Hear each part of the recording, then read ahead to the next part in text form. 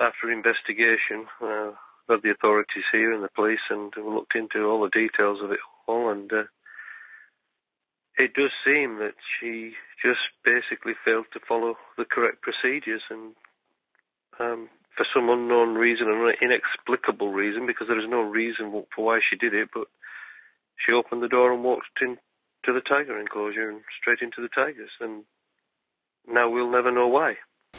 This is just a, a absolute, you know, devastating. Um, I had a meeting with all of the staff at half past five tonight and explained what had happened and, and talked to them and asked them what they wanted to do. And it, there was a, a huge consensus of opinion that we should carry on. And, you know, it's not the park's fault, if you will. It's, it's not going to do anybody any good whatsoever if we if we closed, for instance. There's no